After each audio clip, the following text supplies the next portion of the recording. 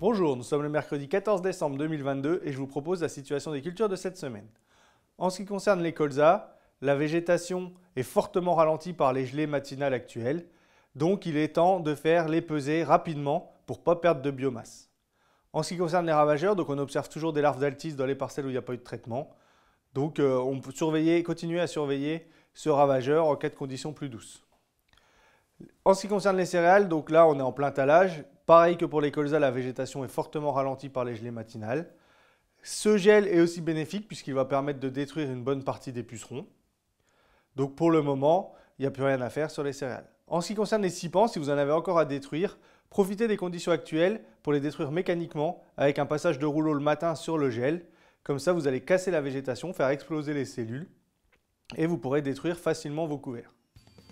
Cette vidéo était la dernière pour l'année 2022. Nous vous souhaitons de bonnes fêtes de fin d'année et vous donnons rendez-vous le mercredi 25 janvier 2023 pour la prochaine situation des cultures.